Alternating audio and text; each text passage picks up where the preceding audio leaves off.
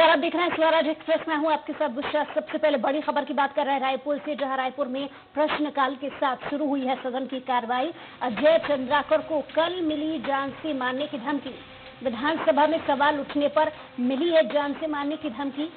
BJP विधायक शिव रत्न शर्मा ने उठाया है धमकी का ये पूरा मामला है, जिसमें विधानसभा अध्यक्ष ने संसदीय कार्य मंत्री को जाँच के निर्देश जारी कर दिए हैं। और खास बात आपको बता दें कि मामले को लेकर सदन में हंगामा भी विपक्ष द्वारा किया गया है।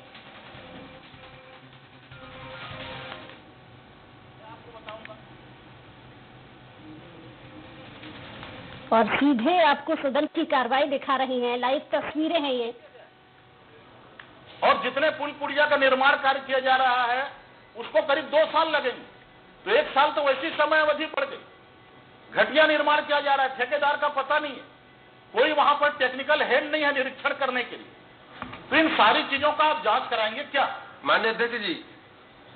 जज जी तो जवाब आपने मेरा नाम लिया था दे रहा हूँ ना मैं आपको दे रहा हूँ ना अवसर दे रहा हूँ। सम्मानीय अध्यक्ष जी ना तो जाँच कराने की अभी ज़रूरत है और न ही कोई समिति गठन करने की ज़रूरत है।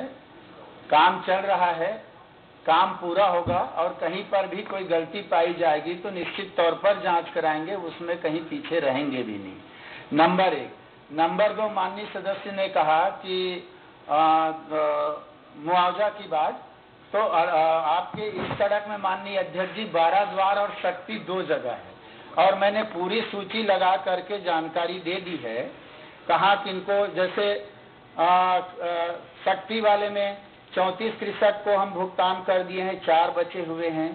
अलग अलग गाँव पोरथा गाँव में, फिर उसके बाद के नीचे में देखेंगे आप गाँव जो है, नवापारा खुर्द का दो कृषक को भुगतान किया गया डोड़की में बीस को भुगतान किए, दो कृषक का बचा है।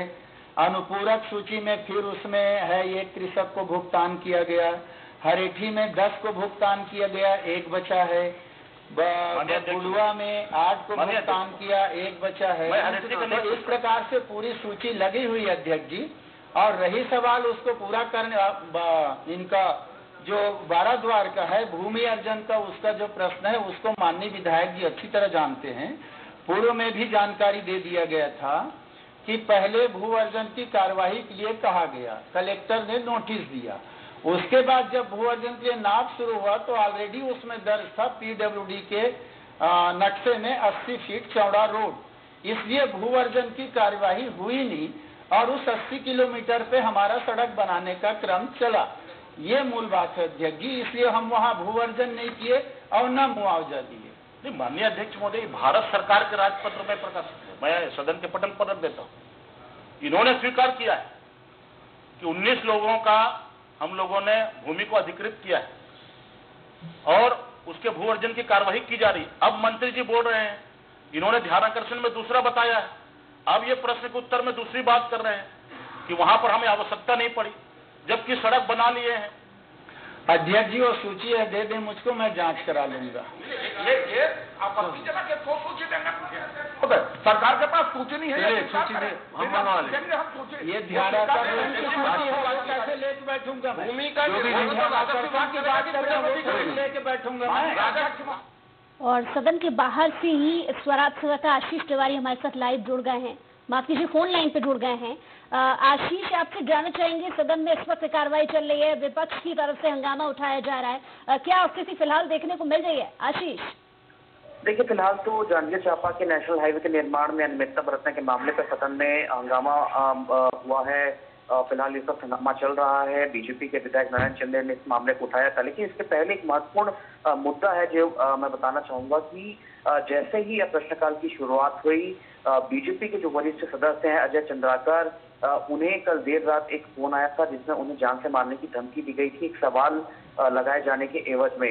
इस मामले को शिवतन शर्मा ने उठाया और शिवतन शर्मा ने समेत तमाम बीजेपी के और विपक्ष के सदस्यों ने आसंदी से ये गुहार लगाई कि आसंदी के संरक्षण विधायकों को मिलना चाहिए लेकिन छत्तीसगढ़ में ही किस तरीके की परंपरा शुरू हो रही है कि सदस्यों को सदन में सवाल पूछे जाने के लिए धमकी दी जा रही है और वो भी वरिष्ठ सदस्य अजय चंद्राकर जो है उन्हें फ़ोन पर अज्ञात व्यक्ति ने इस तरीके की धमकी दी है। आसंदी ने इस पर हस्तक्षेप किया और आसंदी ने भी इस पर कड़ी टिप्पणी जताई है। आसंदी ने कहा है स्पीकर ने कहा है कि ये ठीक नहीं है, ये उचित नहीं है और सरकार को विधायकों की सुरक्षा का ध्यान रखा जाना चाहिए। संसदीय कार्य मंत्री रविंद्र चौबे ने सरकार की ओर से सदन के सभी विधायकों को इस बात का एश्योरेंस दिया है कि विधायकों की सुरक्षा की ज़िम्मेदारी सरकार की है और अजय चंद्राकर की जिस अज्ञात व्यक्ति ने फ़ोन पर धमकी दी है, उसे ट्रेस कर लिया गया है, उसे गिरफ्तारी हो चुकी है। हालाँकि उन्होंने भी इस घटना को दुर्भाग्यजनक करार दिया है। तो ये एक बड़ी खबर विधानसभा से निकल कर आई है कि वरिष्ठ विधायक जो पूर्व संसदीय मंत्री रह चुके हैं पिछले सरकार में पिछली सरकार के अलावा उसके पहले भी लंबा राजनीतिक अनुभव है। अविभाजित मध्य प्रदेश से लगातार मंत्री हैं। उन्हें सवाल लगाए जाने के लिए धमकी दी गई थी फ़ोन पर जिसका सदन के सभी सदस्यों ने सत्ता पक्ष और विपक्ष ने मिलकर पुरजोर तरीके से विरोध किया है आसंदी के हस्तक्षेप के बाद रविंद्र चौबे संसदीय कार्य मंत्री ने सरकार की तरफ़ से उन्हें तमाम विधायकों को सुरक्षा की गारंटी दी है। फ़िलहाल सदन में जिस तरीके से हम चर्चा कर रहे थे कि जांजगीर चांपा में नेशनल हाईवे के निर्माण में जिस तरीके से अनियमितताएँ हुई हैं उस मामले पर सदन गरमाया हुआ है और गृह मंत्री इस मुद्दे पर फ़िलहाल सदन में बीजेपी की ओर से उठाए गए सवाल का स्पष्ट जवाब नहीं दे पा रहे हैं। आशीष धमकी वाले इस एपिसोड में वो सवाल जानना चाहेंगे। ऐसा कौन सा सवाल पूछ लिया गया था जिस पर धमकियाँ दी जा रही हैं? देखिए, फ़िलहाल सदन में इस बात का स्पष्ट उल्लेख शिवतन शर्मा या बीजेपी की तरफ़ से नहीं किया गया था कि किस सवाल को लेकर अजय चंद्राकर के पास फ़ोन आया था और उन्हें सवाल पूछे जाने के एवज में धमकी दी गई थी। ये स्पष्ट नहीं है, लेकिन ज़रूर जब अजय चंद्राकर मीडिया से मुखातिब होंगे तो ये सवाल उनसे पूछा जाएगा। तो उम्मीद की जा रही है कि अजय चंद्राकर विस्तृत तौर पर इसका विवरण मीडिया के ज़रिए दे सकें। और जैसे कि आपने ज़िक्र किया कार्रवाई को लेकर के भी आरोपी गिरफ़्तार हुआ है। आ, क्या उससे पूछताछ में और खुलासे हो पाए हैं? देखिए सदन में जैसे ही मामला उठा कि अजय चंद्राकर पर अज्ञात व्यक्ति ने फ़ोन का जान से मारने की धमकी दी है इस पर सरकार की तरफ़ से रविंद्र चौबे ने ये स्पष्टीकरण देते हुए बयान दिया है कि हम्म। उस अज्ञात व्यक्ति की गिरफ्तारी हो चुकी है। हालाँकि इसके बाद का विवरण सदन में नहीं आया लेकिन ज़रूर एक प्रोसेस है पुलिस की जाँच का इन्वेस्टिगेशन का एक पार्ट है कि संबंधित व्यक्ति से पुलिस पूछताछ करेगी और उन कारणों को उन वजह को जानने की कोशिश करेगी उन वजह को तलाशेगी जिसकी वजह से अजय चंद्राकर को उस व्यक्ति ने धमकी दी है। चलिए आपसे अपडेट्स और लेंगे। फ़िलहाल शुक्रिया तमाम जानकारी के लिए आशीष। सम्माननीय अध्यक्ष जी भू अर्जन का अधिकार पीडब्ल्यूडी के एसडीओ को दिया जाए। माननीय विद्वान सदस्य हैं मुख्यमंत्री रहे हैं। ये तो मेरे अधिकार में नहीं है ये राजस्व की बात है वो होगा अगर नहीं आप प्रस्ताव बात आएगी मंत्रिमंडल में उठाइए इसको। सुझाव के तौर पर ये बात आएगी तो निर्णय वो कर लेंगे। रही सवाल पेनाल्टी वाली बात तो नियमानुसार अगर उसमें ठेकेदार की जो गलती आती जाती है तो पेनाल्टी भी लगाते हैं। इसमें कहीं आ, इस प्रकरण में जलसा आएगा करेंगे। अभी मूल रूप से असल में रुका है तीन चार तो ये छत्तीस